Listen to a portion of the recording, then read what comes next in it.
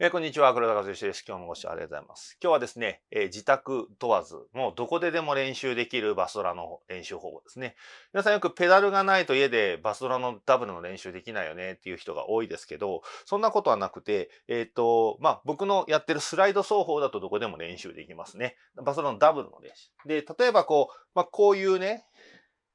あの、電子ドラムのペダルでもいいんだけど、とにかくこれで僕はスライド奏法っていうとこう、こう擦るイメージだけど、本当は踏み替えてるんですね。こことここの場所。で、距離を、最短距離取るから擦って見えるんだけど、実際はここで体重乗せて、ここでも体重乗せるんですね。で、どっちもつま先でもいいし、つま先全体でも、どっちでもいいです。これね。で、これを、これがなくても、こういうなんか線を引いたりとか、まあ線じゃなくて、例えばこう、畳の目のこことここって自分の頭の中のね、イマジナリーバーラインでいいと思うんですけどね。想像上の線でいいと思うんですけど、それを手前の方で踏むのと先の方で。そうすると自動的にここはかかと上がっといて、ここつま先が、こうかかとが下がって、まあこれぜ足、つま先足全体でもいいと思うんですけど、こうやって叩く、踏む練習する。要は移動が大事なんですよ。この移動がね。なので、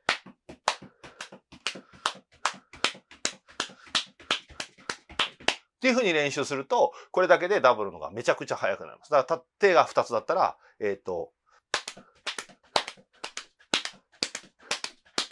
これで練習してもらえばかなり速くなると思います。そしたら手と足の組み合わせはもう一つあって手が2つ。この時は足はこうスライドする必要はないので。でね。っていう練習したりとか。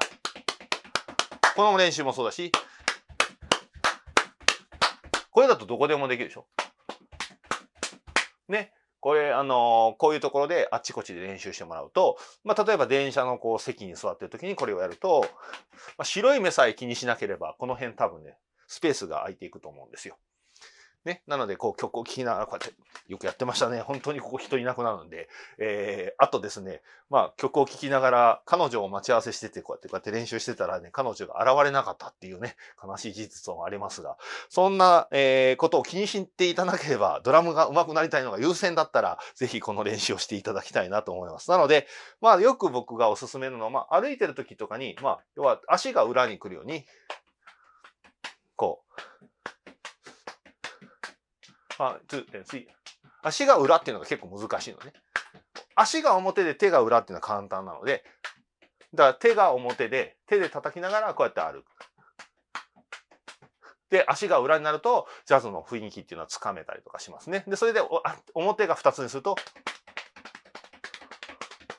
ていう風になるし、足が2つだと、っていう風に練習できると思います。あ見た目はすごいちょっとアホっぽいんですけど、でもあのー、すごいこう、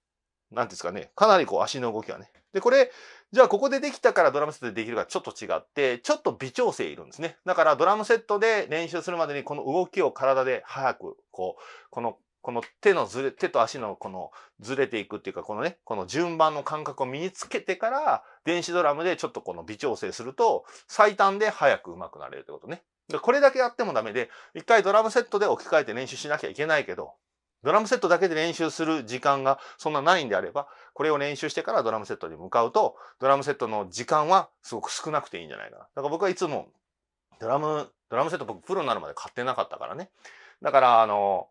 練習室は借りるんですよ。2時間とかね。そうすると、それ以外のところでパッと練習しっかりして、で、ドラムセットでちゃんと微調整して、それがドラムセットで再現できるようにするっていう。だから、ドラムセットに座ってる時は、もうできることを再現するためだけの、その微調整するための時間っていうふうに考えてました。というふうにやれば、ドラムセットにそんなに座ってなくても、いろんなところで練習ができるので、まあ、練習、僕はまあ、すごい練習好きな方なんで、練習をやってるのが好きだったから、まあ、パッドとか、こういう何もないところで、こうやって練習してもらえばいいのかなと思います。あとなんかこの、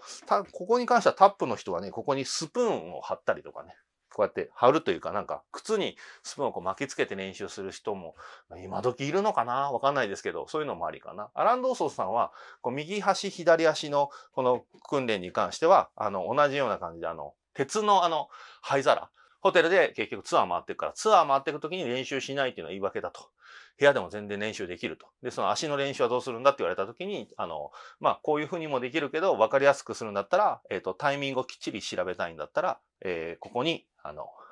灰皿っていうふうにどっかで書いてたんで、あまあちょっとうろ覚えなんで、あの、灰皿だったと覚えてがあるんですけど、まあどちらにせよ結局工夫なんですよね。工夫で練習してもらうといいと思います。なので、そんな感じで家でもご自宅でもどこでも練習できるという足の練習方法をお伝えしました。えー、これはあくまでも僕のやり方なんでね、あ、いいなと思った人はぜひ、えー、使ってみてください。えー、本日は以上になります。今日も最後までご視聴ありがとうございました。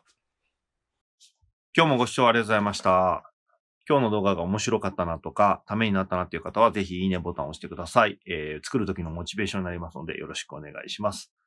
このチャンネルでは、ドラムの演奏ですね、ジャズの演奏とか、ポップスとかもやってます。あと、クラシックとか吹奏楽のコツなんかも教えてます。あと、ジャズの楽しみ方ですね。リスナーの方とか、他の楽器の方が、えー、ジャズが面白いなと思うために、まあ、歴史とか、えー、曲の解説とか、演奏中に何考えてるかっていう動画を上げてますので、えー、ぜひお楽しみください。週2本ペースでアップしてますので、見逃さないようにチャンネル登録の方もよろしくお願いします。